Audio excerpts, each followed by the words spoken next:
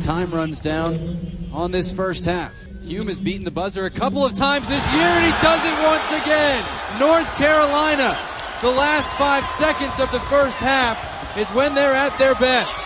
Tucker Hume with a buzzer beater. Unbelievable. And this is the third time they've scored in the last five seconds of the first half.